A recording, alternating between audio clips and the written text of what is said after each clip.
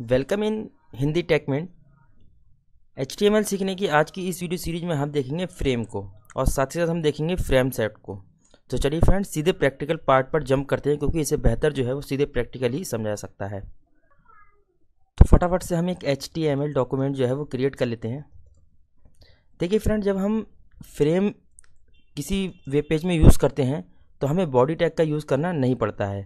तो सिर्फ़ हम हेड लिखेंगे और हेड के अंदर जो है हम प्रॉपरली जो टाइटल देते हैं सब्जेक्ट का, जो आज का सब्जेक्ट है, वो हम इसके अंदर दे देते हैं। तो फ्रेंड्स टाइटल हमने जो दिया है वो फ्रेम एंड फ्रेम सेट दे दिया है। अब चलिए फ्रेंड्स हम एक फ्रेम सेट क्रिएट कर लेते हैं। उसके लिए हमें सिंपली लिखना होता है फ्रेम लिखना होता है सेट और इसका क्लोजिंग टैग लगाना होता है। तो फ्रेंड इस तरह से जो है वो फ्रेम सेट टैग जो है वो क्रिएट हो गया है। चलिए इस डॉक्यूमेंट को सेव कर लेते हैं, जिस फोल्डर में हम प्रॉपरली डॉक्यूमेंट अपनी सेव करते हैं। डॉक्यूमेंट का नाम फ्रेंड्स आप कुछ भी रख सकते हैं। मैंने फ्रेम नाम रखा है और डॉट एच लिखना आप ना भूलिएगा।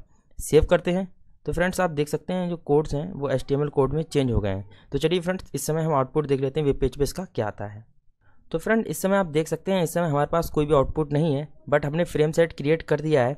तो उसके लिए हमें जो है अब फ्रेम यूज़ करना होगा, क्योंकि फ्रेम जब हम यूज़ करेंगे तो इसके अंदर जो है वो हम वेब पेज इंसर्ट कर पाएँगे। मैं कहना क्या चाह रहा हूँ आप समझ पाएँगे मेरी बात को। कहने का मीन्स ये है फ्रेंड्स जैसे हमारे पास ये देखिए, दो वेब पेज हैं, एक ये और एक ये। और साथ ही साथ हमारे पास टेबल और लिस्ट भी हैं। तो हम क्या करना चाहते हैं, इन चारों वेब पेज को गूगल क्रोम के इस इस वाले पेज में जो है इंसर्ट करना चाहते हैं। यानी इसी में चारों पेज जो है वो एक साथ शो हों। इसके लिए फ्रेंड्स हम सिंपली क्या करेंगे, इसके अंदर हम लिखेंगे फ्रेम और एस आर सी लिखेंगे सोर्स यानी इसका जो एट्रीब्यूट है और इसके अंदर जो है वो हम पाथ लिखेंगे। आप चाहें तो ऑनलाइन पाथ दे सकते हैं एच लिख करके। बट हमने इस समय जो है, अपने जो डॉक्यूमेंट सेव कर रखी हैं, वो इसी फोल्डर में सेव कर रखी हैं, जहाँ पर ये फ्रेम है तो हमें कुछ भी नहीं लिखना है सिंपली इनका नाम लिख देना है, इन दोनों फोल्डर्स का। और उसके बाद जो है, ये सीधी सीधी जो है डॉक्यूमेंट इंसर्ट हो जाएँगे। अगर फ्रेंड इमेज वाले फोल्डर में ये डेटा रहता तो हम पहले इमेज लिखते हैं और फिर स्लैश लगा करके प्रॉपरली जो है वो एक्सेस कराते हैं। यानी पाथ देना होता है फ्रेंड्स हमें यहाँ पर। तो चलिए फ्रेंड्स ये सारी डॉक्यूमेंट जो है वो मैं चार फ्रेम के अंदर इंसर्ट कर ले रहा हूँ। तो फ्रेंड्स हमने सिंपली क्या किया है, वो चारों डॉक्यूमेंट जो है, चारों वेब पेज जो थे वो यहाँ पर हमने इंसर्ट कर लिए हैं। अब चलिए फ्रेंड्स सेव करते हैं और वेब पेज पे चलते हैं और इसका आउटपुट देखते हैं। तो फ्रेंड, इस समय आप देख पा रहे हैं सिर्फ़ हेलो वर्ड वाला ही वेब पेज शो हो रहा है। हालाँकि इसमें चारों फ्रेम लोड हो गए हैं। ऐसा क्यों हो रहा है? इसलिए हो रहा है क्योंकि हमने वहाँ पर फ्रेम सेट की कोई भी प्रॉपर्टी यूज़ नहीं की है। ना हमने ये डिफाइन किया है कि कितने कॉलम शो कराने हैं और ना ही हमने ये डिफाइन किया है कि कितनी रो शो करानी है। तो उसके लिए फ्रेंड सिंपली हमें क्या करना है? फ्रेम सेट के अंदर हमें जो है वो कॉल्स डिफाइन करने हैं। सिंपली हम लिखेंगे कॉल्स और इक्वस टू का सिंबल लगाएँगे फ्रेंड्स और कॉल्स की वैल्यू देंगे। सब वेब पेज जो है वो फिफ्टी, हम हंड्रेड का, हंड्रेड साइज़ का मान के चल रहे हैं और एक्चुअली में वो हंड्रेड का ही है। तो हमने क्या किया? फिफ्टी फिफ्टी के दो कॉलम जो है वो असाइन कर दिए। देखिए फ्रेंड, इसका जो आउटपुट आएगा, इस समय सिर्फ़ दो ही फ्रेम जो है वो इस स्क्रीन पे लोड होंगे, क्योंकि हमने सिर्फ़ कॉलम डिफाइन किए हैं। यानी हमने सिर्फ़ दो ही कॉलम डिफाइन किए हैं तो दो ही वेब पेज एक साथ शो हो पाएँगे। सेव करते हैं फ्रेंड्स और इसका आउटपुट देखते हैं। तो फ्रेंड्स, आप देख सकते हैं सिर्फ़ दो ही वेब पेज जो है वो हमें शो हो रहे हैं। देखिए फ्रेंड्स अब हमने वहाँ पर कॉलम जो है वो डिफ़ाइन किए हैं। अगर हम चाहें तो कॉलम जो है और एक और डिफ़ाइन कर देंगे तो यहाँ पर एक और फ्रेम ऑटोमेटिक लोड हो जाएगा। बट अगर हम रो डिफ़ाइन कर देंगे, देखिए सिंपली अगर हम यहाँ पर रो डिफ़ाइन कर देते हैं फ्रेंड्स तो यहाँ से ये डिवाइडेशन आ जाएगा और ऑटोमेटिकली जो है वो यहाँ पर फोर फ्रेम जो है वो क्रिएट हो जाएँगे। तो चलिए फ्रेंड्स हम दो रो डिफ़ाइन कर देते हैं वहाँ पर। सिंपली लिखेंगे रोज़ इक्वल्स टू और ब्रैकेट के अंदर फिफ्टी फिफ्टी कर देंगे। आप चाहें तो साइज़ कुछ भी दे सकते हैं। क्योंकि ये तो फ्रेम का साइज़ जो है वो क्रिएट कर रहे हैं हम। सेव कर रहे हैं तो अब जो है हमारी चारों फ्रेम जो है उस वेब पेज में लोड हो जाएँगे। तो फ्रेंड्स आप देख सकते हैं चारों फ्रेम जो है वो हमारे लोड जो है वेब पेज में हो चुके हैं। तो फ्रेंड्स अभी आप ये देखिए कर्सर जैसे मैं यहाँ ले जाता हूँ तो आप जिस फ्रेम का साइज़ चाहें उतना बढ़ा सकते हैं, जिसको जिधर चाहें उधर अरेंज कर सकते हैं अपने अकॉर्डिंगली और फ्रेंड्स आप यहाँ इस वेब पेज पे देख सकते हैं, इसको स्क्रॉल भी हम कर पा रहे हैं। तो फ्रेंड्स, अगर आप चाहते हैं ये स्क्रॉलिंग भी वर्क ना करे और यहाँ पर जब कर्सर लाएँ तो ये चेंज ना हो तो आप इसको भी कर सकते हैं।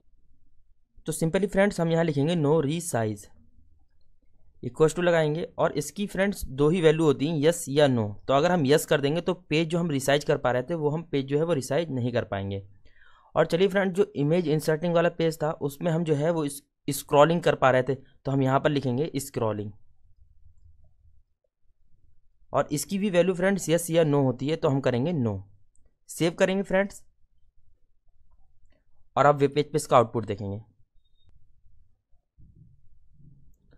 तो फ्रेंड्स आप देख सकते हैं आउटपुट जो है वो हमारा प्रॉपरली आ गया है। यहाँ पर जो स्क्रॉलिंग का व्हील था वो भी गायब हो गया है और जो यहाँ पर हम कर्सर लेकर आ रहे थे तो इस पेज को छोटा और बड़ा कर पा रहे थे, वो भी हमारा यहाँ से जो है वो अब डिसअपेयर हो गया है।